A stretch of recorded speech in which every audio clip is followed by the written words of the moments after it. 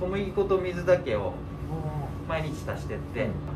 でそれを半分元種中種で使って。ということはもう神頼みなんですよね。その日の生地だから十字架を切ったんです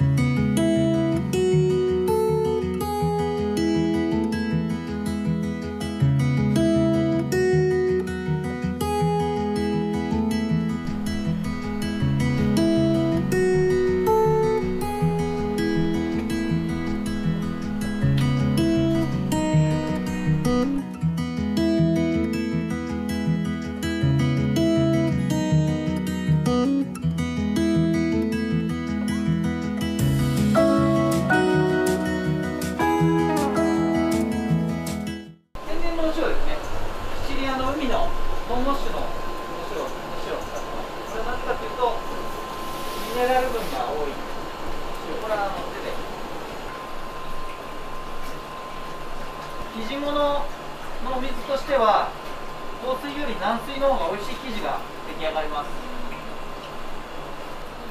天然の海のお塩。でできればあのノンモッシュのインテグラーレって呼ばれてる使うとミネラル分が強いんで本物のナポリピッツァに近いお水の状態に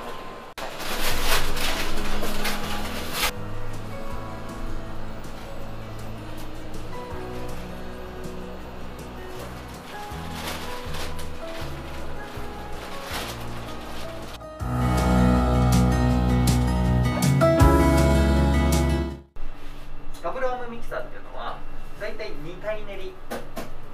が基本なんです。でこれ大型に見えるんですけどこれ小型なんです。ちょこれはちょうど1体練れる大きさ。なんでこの1体ずつこの小麦粉を使っていくっていう文化があんまり日本だとないんですね。ただあのヨーロッパとかだとやっぱりこの小麦粉を1回揚げたらすぐ使い切るっていうのがあの我々あの開発していく時にどうしたら最高の生地ができるか。その最高の生地を作りたいお店に対してこれは開発してるので小麦粉の国で習ったようなそういった方にあのぜひ使いこなしてほしい一台となってますのでそういう一体練るサイズ。で逆にただこれでじゃあ半分のこの小麦粉で練れるか練れないかって練れちゃうんです実は。お水入れて塩入れて次、まあ、酵母入れちゃいがちなんですけど酵母入れずに小麦粉を入れます。塩はあの酵母の働きを抑えちゃう。なんであの先に小麦粉と合わせてクッションを作ります。で酵母と塩が直接合わないように。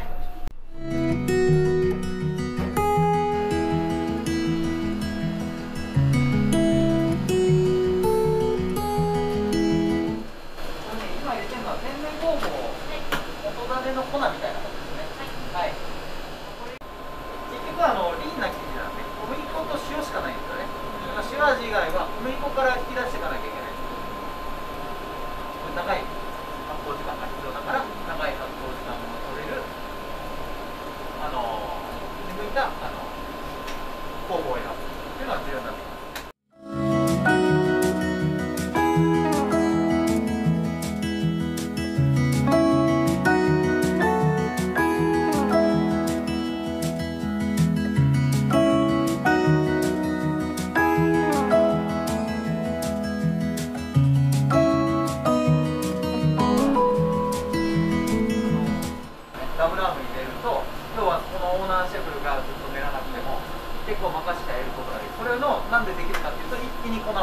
入れても練り上がりが一緒だから。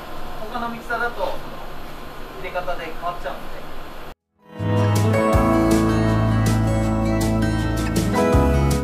もうすでに今プシュプシュって音してると思うんですけどこの音鳴らないんですよ。はい、あの他のミキサーでは。何の音かっていうとこれ空気が入って出てってる音なんです。でしかも今僕ちょろっと23分喋ってる間にこの音出てるじゃないですかこれ他のダブルアームではなくって我々のこの PS45 とかバストアレイ、まあ、この追加さんのモデルしかこんなに早い段階であの練り上がってこないんですけどじゃあこね揚げが要は生地が形成されて空気が入るブロックができてしかもそこに空気が常に早い段階から送り込まれて練り上がってから入から音が聞こえる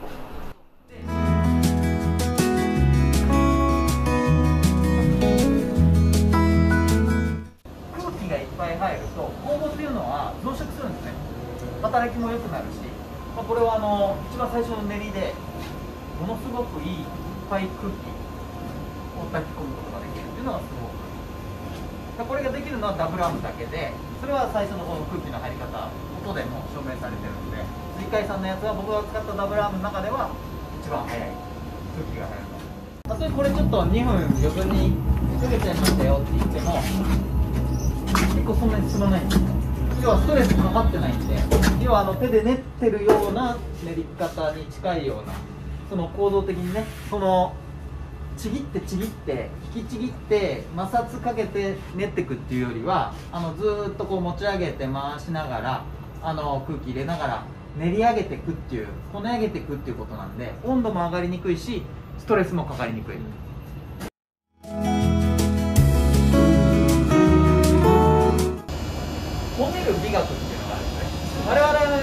がさっき僕がピッツァ作ってる時に一緒でやっぱり作り方が綺麗だといいものができる。ん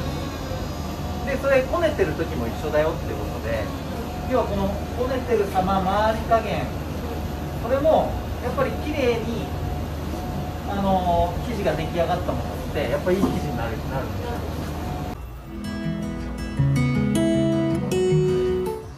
ダブルアームはこれ今ピッツァの生地なんで僕これでこね上げる。ここからちょっと1時間休ませるんでそれでバッチリとこうバッチリこうつながるっていう。この表面のねツヤとかそういうのも他のミキサーとかだとこう見るんですけど我々そういうとこじゃなくてこの形あとこう手についてくるとない、まあ、これがあの基本的な、あのー粉の量の見方。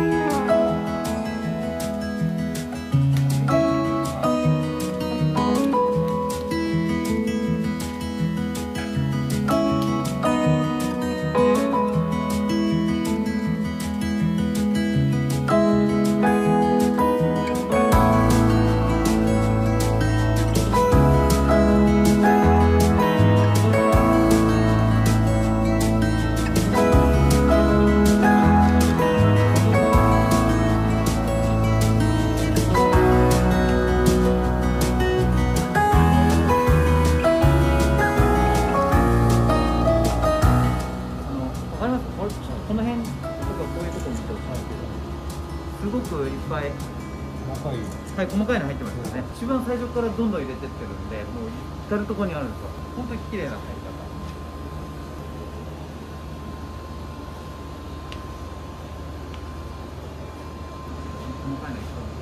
僕らこういうの見るんですよね。職人たちいいいいねったかっていうのをこう見て。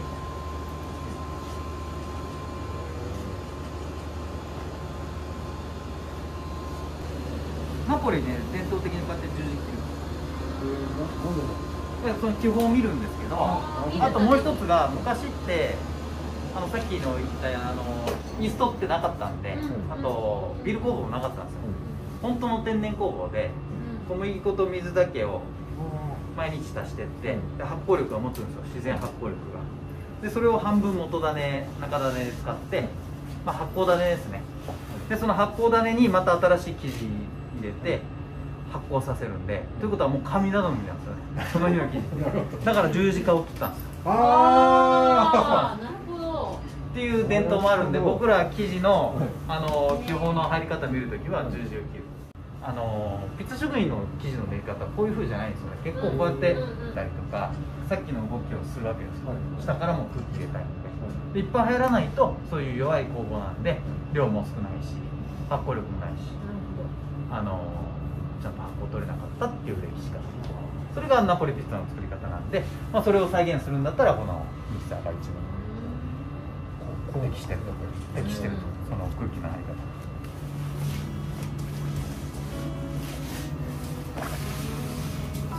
で1時間置いてあとは成形成形して盤中に入れて、えー、ここからは12時間から長いと24時間発酵という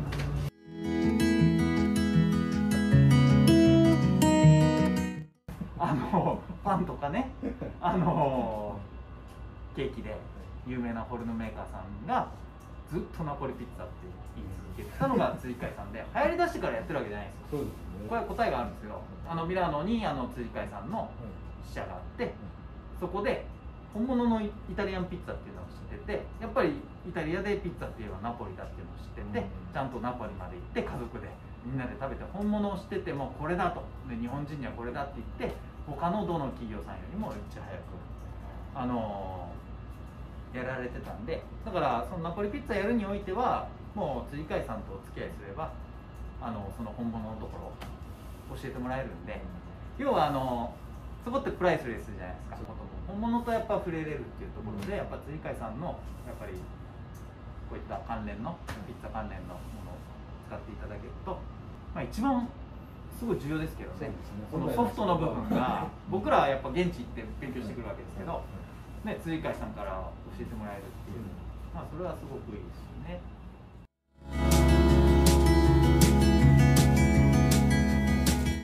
でこれからパンの業界の方々がナポリピッツァにチャレンジする時もあのちゃんとそのナポリピッツァの本物にじ軸足を置いとくことによってでこれから5年やろうが10年やろうがあのいつも原型に立ち返れることができるのがナポリピッツァのいいところですね。だそこに帰ってこれると。ただそこを意識するかどうか職人がそうするとスタート地地点とゴール地点っていうのがあって分かってて。でこれからのピッツァのそのピッツァ作りの線路に行ってもらえるんで迷ったってそこのラインに戻ってくれば戻ることがいつでもできるのがナポリピッツァのいいところ